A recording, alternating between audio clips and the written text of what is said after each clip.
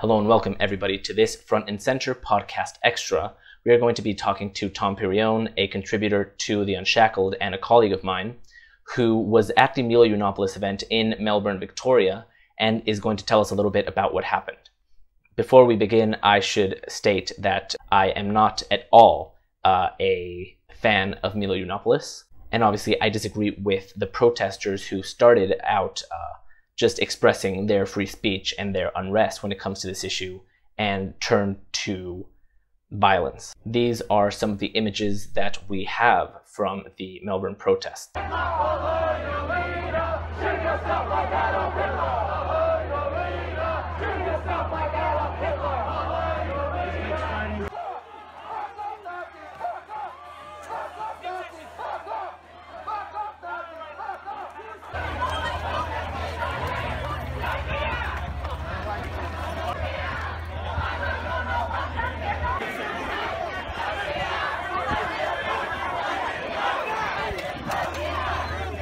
So without further ado, let's get to the interview. Hello, Tom. Thank you so much for being with us today. We understand that you were at the Milo Yiannopoulos events uh, at the time of the violence, and we were hoping that perhaps you could give us a little bit of insight as to what it is that happened during this event. Yeah, sure. So I rocked up prior to the show, probably around about 7 p.m. or somewhere thereabouts. So the show was scheduled to begin at 8 p.m. So I was there a little bit early. And when I arrived, um, basically there was a, a massive line of police who were uh, fencing off a group of um, left wing protesters. Uh, the left wing protesters were just harassing people um, upon entry and yelling abuse and whatever else. Um, apparently, prior to my arrival at the event, um, there had been a, a, physical confrontation between um, a man called Neil Erikson, so the, the leader of a local right wing group, and a, um, a few others. And anyway, uh, when I rocked up, yeah, there wasn't actually any violence occurring at the time, but obviously tensions were high, and yeah, there was a lot of um, abuse being hurled from the left towards those who were entering the venue. So when you arrived at the event, the protesters they're already there, and they're just you know chanting and doing uh, the things that they're legally allowed to do, which is just show their unrest. When does it escalate from being just a show of remorse and uh, not accepting that Milo Yiannopoulos is speaking to actually uh, inflicting violence upon other people? So I believe they uh, apparently arrived there at around about 6 p.m. I was told, so two hours before the event actually began. Um, so they, yeah, they made an early start. Um, but yeah, I, uh, I'm under the impression that they arrived early because they wanted to harass people upon entry, um, and also to be there to, to get them afterwards. Hence why a lot of them stuck around after the event as well. Um, but yeah, it was it was quite interesting because it was a a combination of not just the you know the typical sort of Antifa crowd, but you also had um, a, a, group of people from the uh, basically there was a a housing commission estate, like a, you know government housing across from the venue. So a lot of these uh, the the residents of this particular housing commission had actually come across the road and joined in the protest. Um, so you had a, a combination of yeah, you know, the, the typical Antifa crowd and a lot of these, I think they were Somalians as well, were also joining in on the protest. So you see the protesters, and uh, obviously the type of protesters that we can come to expect at these types of rallies, at a rally like Milo Yiannopoulos's, would be the Antifa people, uh, who are easy to identify because of their covered faces. Uh, oftentimes they're wearing all black, and uh, sometimes they have the, their logo, which is the, the two red flags. I'm wondering, though, if you saw any other organized uh, demonstrators, if you will, people that were there not as individuals protesting the event, but actually were there as uh, part of a collective. Yeah, um, I mean, there were people there wearing, uh, you know, "Make America Great Again" hats, so the, famous Trump hats, um, who were attending the rally, oh, sorry, attending the uh, the speech. Um, as for the protesters, um, there were a lot of women there wearing the um, what do they call it, the the niqab, I think, the the headscarf. I assume they were the uh, the residents of the housing commission that I mentioned earlier. Um, but no, apart from that, I don't think there was really a consistent trend in regards to the uniforms that they were wearing. Uh, none that exactly um, you know caught my eye anyway at the time. So there are protesters there uh, initially, and it seems like they are carrying about their legal right to express uh, their dislike for something, and obviously there's nothing inherently wrong about doing that. I'm wondering at what point does it go from being this uh, legal exercise of free speech and turn into the violence that we saw, that you saw firsthand, but that we saw uh, through a screen? Yeah, uh, well, as I said, um, based on what I was told, there was a, a violent confrontation prior to when I had arrived. Um, having said that, once I arrived, that um, situation had simmered down. So I believe that was Neil Erikson, a famous um, right-wing provocateur with a, a, few people from Antifa. Um, but from my own personal experience, though, when I left the venue at I think around about 10 p.m. or maybe a, little bit earlier than that, um, basically the uh, the police who were there made sure that each of the people who just attended the show um, turned left and went down a, a, different street rather than heading right and heading towards the main road where the protesters were. Anyways, ironically enough, what was that? Sorry. Yeah, you turn left. Yeah. is that right? It right? Yeah. Um, no pun intended. Anyway, so yeah, so we um, we went left, and um, um, I'm walking past the housing commission, and I look over there, and there's this massive commotion going on. Um, so more or less, what had happened was the uh, police who were equipped were um, engaged in a, I suppose, a confrontation with um, the residents of the commission. So they were, you know, throwing bricks and rocks and whatever else, um, and they were actually forcing back the police, um, more or less. So the, the police were forced back across the other to the other side of the road. Um, so this is, as far as I can tell, while I was inside, the um, protest had blown out into a, a full blown riot, more or less, between the residents of the Housing Commission and the Victorian Police. Um, so as I yeah, as I said, I was um, walking along that main road.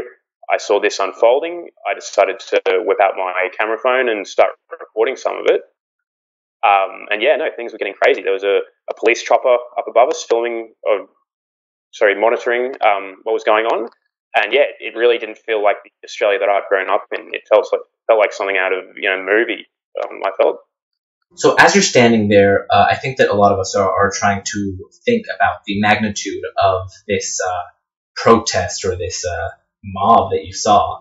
So can you give us a rough estimate, a guesstimate, if you will, of how many people were actually there clashing with the Victorian police? Yeah, look, I would guess anywhere from three to 500 of them, approximately. Um, I mean, it was crazy. You only had maybe 100 cops max um, so they were significantly outnumbered there. Um, and yeah, there was just no regard for the law, no respect for for anyone really. I mean, I, I really feel bad for the people who live in this um, in this area, Kensington, suburb of Melbourne. Um, yeah, it was just insane. Like I said, they were outnumbering the police. They were forcing them back, and it really just wasn't a, a safe situation for anyone to be in. So obviously, you were you were the victim of some violence during this, and uh, I'm hoping if you don't mind uh, telling us a little bit about how it went from you just being a an innocent bystander to actually being someone who was being targeted for this uh, this violence. Yeah, no, sure, I don't mind. Um, so basically, I, as I mentioned before, I was there uh, filming the events with my phone at the time, and I was probably there for a good twenty minutes or so, just getting some of this uh, some of this stuff recorded. And at some point, I, I don't know how exactly she went about doing it, but there was a an old lady, maybe in her 50s or 60s, who, uh, for whatever reason, was behind the uh, the police line and was walking towards the um, the, the residents of the housing commission. Um, so she was walking towards them, and I, am under the impression that she had just attended the Milo Yiannopoulos show. Anyway, she starts walking over there and she starts confronting them. So she's yelling and um, I mean, I, I got to give her credit. It was quite brave on her part to do this. Um, but, anyways, there would have been about, I don't know, 10, 15 of them spearheading this group at the front who started, uh, you know, pulling on her hair and spitting on her and slapping her in the face and whatever else. Um, anyway, at this point, so prior to this, I'd probably been maybe, I don't know, 20 to 30 meters away from everything that had been going on, sort of filming from a distance. At this point, though, I got a little bit closer. Um, I you know, I was sort of worried for this woman's safety. So as I got a little bit closer, I was still filming everything as it was unfolding, as she was being, you know, spat on and assaulted and whatever else. And next thing I know, there's a um, one of these people slowly to my right. He grabs my phone out of my hand as I'm filming, and I'm sort of you know taken by surprise. And then next thing I know, from my left, there's a fist gets me in the face, and then before I know it, there's about six of them on me, um, you know, bashing me, you know, hitting me in the face and whatever else. The guy with my phone has run off, you know, into the crowd. I, I can't see where he's gone. And yeah, I think there was anywhere from six to ten uh, to ten of them simultaneously um, laying into me, you know, kicking me and you know, punching me and whatever else. I ended up going down, and they're still getting me when I'm on the ground. Uh, fortunately, there was a photographer, I think he was nearby, an Australian man who was able to um, to intervene and you know drag me out of there and get me to safety. Um, but yeah, it was a situation where, which was really quite terrifying because, as I said before, the cops had been forced back, so the cops couldn't really do anything at that point. Um, as I said, there was ten of them who were laying into me. You know, behind them you've got a you know a crowd of, as I said, three, four, five hundred people um, it was you know it felt like a near death experience at the time. So I'm just I'm thrilled to be to have gotten out of there and only have a few bruises from it. Um, obviously, I lost my phone as I mentioned before, so I'm, I'm filming this just on a, a, temporary phone that I just got for the time being. Um, but yeah, I, I, had my shirt ripped, um, covered in bruises and scratches. Um, and yeah, it's really just, as I said before, it's, it's not the sort of thing I've experienced before. Um, I mean, I you know, I've grown up in Australia, and for me, it's this the sort of place where you know you wouldn't expect someone to violently assault you, let alone you know a gang of you know that many people to be picking on one person like that. Um, it's just yeah, it's just crazy, and for me, it's something I've never experienced before. So yeah, it definitely wasn't a, a positive experience for me. So obviously, you attended the event uh, not as a journalist uh, per se, but also just uh, on your free time because you enjoy uh, Milo Yiannopoulos and you think that his ideas are pretty good, you, you like what he says. So I'm wondering if there was anything that would have indicated to these protesters that you were one of the people that was actually attending the event, uh, such as a MAGA hat or something. Was there anything descriptive about you in that moment that would have let them know that you were one of the people that went to the Milo Yiannopoulos event uh, just to, to see and not as a journalist? Yeah, so as you mentioned before, I mean, I am sympathetic to the cause. I obviously had purchased a ticket for the event. Having said that, the uh, the outfit which I was wearing was just jeans and a black T-shirt. There was nothing distinguishing which I was wearing which would have identified me as a sympathizer. Um, even if I was, I don't think that really justifies any of their actions. Um, but no, nonetheless, I was simply just a, an innocent bystander who was, as I said, recording um, their actions on my phone. Um, I assume it was either, yeah, either my decision to film their actions, which set them off, or maybe it was a racial thing, given that this was a, a crowd of Africans and they were targeting white people. I, I can't say for sure. Um, but no, there was there was definitely yeah, there was nothing that I was wearing, no indication that I was a I was sympathetic to any particular political cause. Interesting. Yeah, I, I can't really imagine that there would be a group of people who would show up to uh, attack people based on their race if uh, part of the reason that they dislike Milo Yiannopoulos uh, so much is because of some of the more racially charged Thanks for tuning in said. to Front and Center. But that being Please said, visit uh, when someone takes your phone away, for all the uh, ways to think that subscribe that and follow the show. was Don't doing so to pick up your because he did not want the actions of uh, him and, and people like him to be documented uh, the online? news Or do you think that it's more that he decided to take advantage of the chaos and just to be able to snatch your phone, run away with it, and just essentially uh, keep your phone? Yeah, look, I I suppose in regards to the particular individual who snatched my phone, perhaps those were his motivations. Um, I would assume that if he saw me filming, you know, him and his um, associates, you know, bashing and spitting on and pulling an old lady's hair, he probably thought that, you know, from a public relations perspective, it wouldn't be overly positive to have that caught on film. Um, as the ones who then ensued to bash me in a, a group of ten, I I'm not sure if they saw me filming or if they, you know, what exactly their, their motivations were. Um, I honestly, I don't think there's too much, you know, reason and thought which has gone into the the actions which they've um, carried out here in this situation. Um, but yeah, I, um, I I wouldn't really, you know, I couldn't give you a definitive a definitive answer in regards to the, the motivations behind their actions. So as far as I'm concerned, I yeah, I would assume that the fact that I was filming their actions probably didn't exactly help my case in that regard. Um, but yeah, once again, I can't really say for sure, to be honest with you. Right. Well, I guess just to finish up, what we could ask you is obviously, a lot of the people that went there to protest Milo Yiannopoulos uh, went there because they believe his speech uh, and his rhetoric constitute as violence. And that's why they go and they basically want to stop the event because they believe that this is, uh, this is a, a, a legitimate form of violence.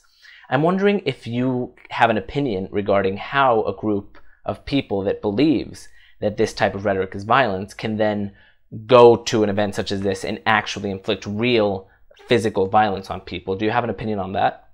Yeah, look, I once again, I mean, I can't really say for sure, but um, based on conversations with which I've had with other people since the event, and based on uh, certain you know observations and investigations which I've had, I believe that the um, I suppose the official narrative is that uh, the Antifa organizers apparently um, more or less you know, did their best to rile up the residents of the housing commission. I don't know specifically what was said to them, um, but regardless, though, there was yeah, obviously hundreds of people from this neighbouring housing commission who were there at the event. So I'm going to assume that the Antifa organisers had uh, said to them, you know, come out and oppose this guy because he's a, you know, a Nazi or a white supremacist or whatever else.